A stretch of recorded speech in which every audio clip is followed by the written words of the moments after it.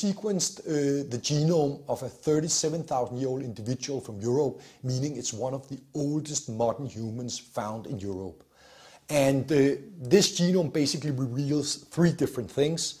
First of all, and this is very surprising, we can see that all the major genetic components present in, in, in living day Europeans were already present in Europeans 37,000 years ago. And that changes the whole concept of how Europe was populated, where we previously thought, well, it was massive movements of people from outside into Europe providing genes. Now it is it, it, the data suggests no, there was like this meta population of people stretching all the way from Europe to Central Asia, exchanging genes in a very complex network with each other.